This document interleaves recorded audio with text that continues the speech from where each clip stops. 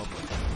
Battlefields are constantly evolving, leading countries around the world to pump hundreds of billions of dollars each year into their armed forces in a race to develop the most advanced training, technology and weaponry.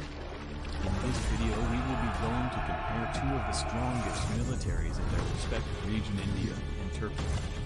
Before we start make sure to like and subscribe and press the bell icon to get the first view on our latest videos.